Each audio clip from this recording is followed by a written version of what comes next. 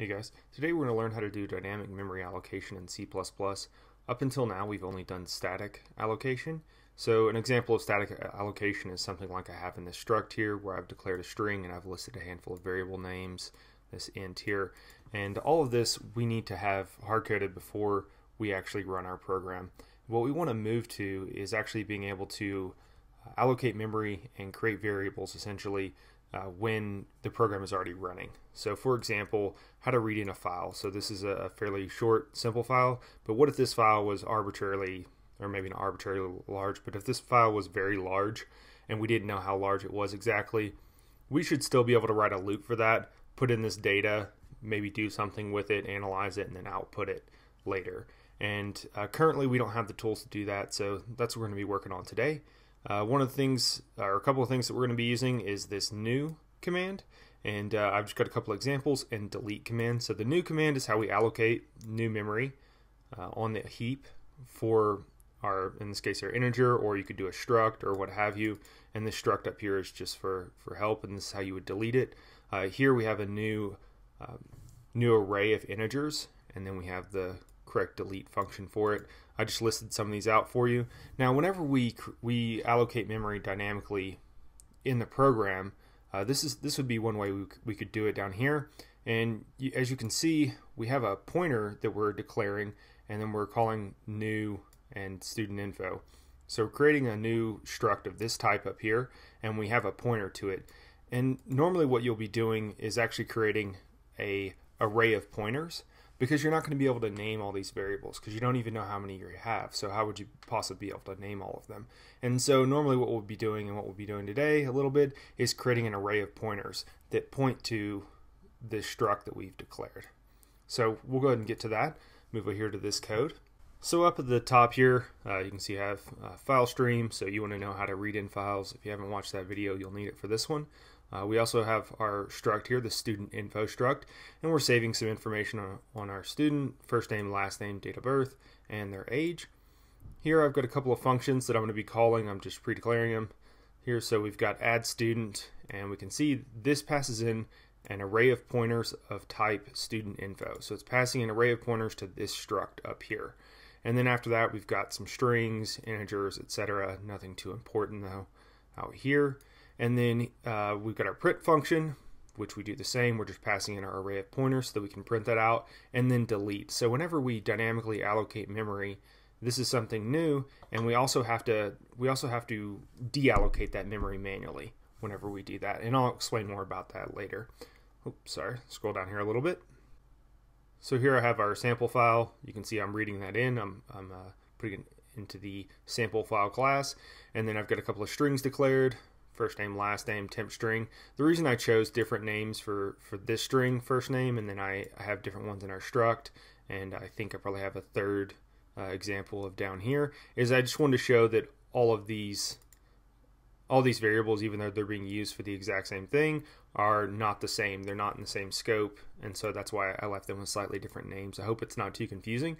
So here I have our array of pointers of type student info and it's only size 4. We'll learn how to do this of different sizes uh, and deal with that later on. And then this next line, I see out this array of pointers.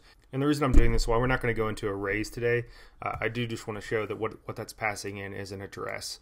And just so you can kind of understand the syntax a little bit better.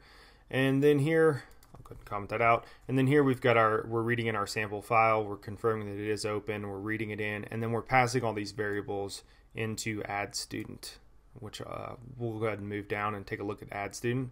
Now add student here, we have our array that we're passing in, uh, then we've got these handful of variables, and then I do have this uh, student count, and that's just so that we know where we're at in our array.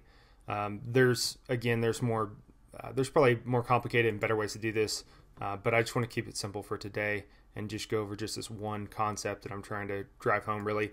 And so here we have our student array, and then we've got, this is our location, this s count. That's what we passed in here with this, the stu count. So that's telling us the location in our array. And then we're declaring new. So we're declaring a new struct of type student info. And then we're doing all these other lines down here. So we're, we're referencing the same point in our array. And since we have an array of pointers and we're, it's not just a, an array it's an array of pointers to structs instead of just an array of structs. Instead of using the dot operator, we actually use this arrow operator. So this is how we access members uh, when we're talking when we're using a pointer. So we want to access members of this struct, and this this uh, student array here is pointing to our new struct, and so we're just assigning values. So f name is what we have defined in our struct before, and then first in is what we've passed in here, which is what we read in from our file, and then we just continue and go on down. So that's what we're doing there. Uh, after we call add student, then we iterate our student count. So we start in location zero, go all the way to location uh, three, and then here, uh, whichever else statement, and then uh, we're going to go ahead and print this out. So I'll uncomment this out, and I'll build and run this. And all I'm printing out here, I'll show you the printout statement a little bit down here.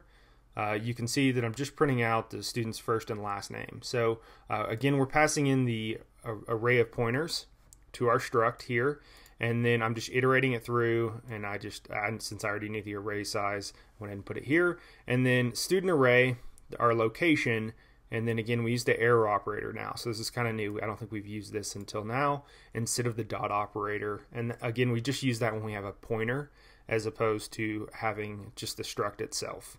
And then student info array, and then our, our last name here. So that's what we're doing there. Uh, and then once we've dynamically allocated this memory, it will not go away unless we delete it ourselves.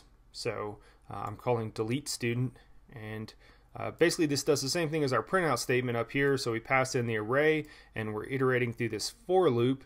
Uh, but what we're doing each time is we're deleting each one of the items in the array. And note that this syntax here is a little bit different than what, what you saw maybe on the last page. When you're actually deleting an array, you would do this. This would be the correct syntax, and that would delete the whole array.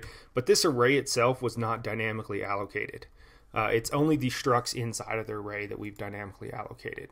And of course, we will move on to dynamically allocating an array and stuff like that in the future. But for now, this is all we're doing. And so then all we do is close our file and we return out. So uh, that's it for this video, new and delete. Um, our next video, we'll go over the stack and the heap, and it'll help us better understand what exactly we're doing with these new and delete commands. So we'll see you then.